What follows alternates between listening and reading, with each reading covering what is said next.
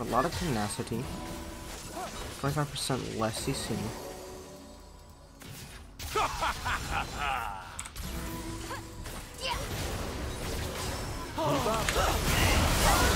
what?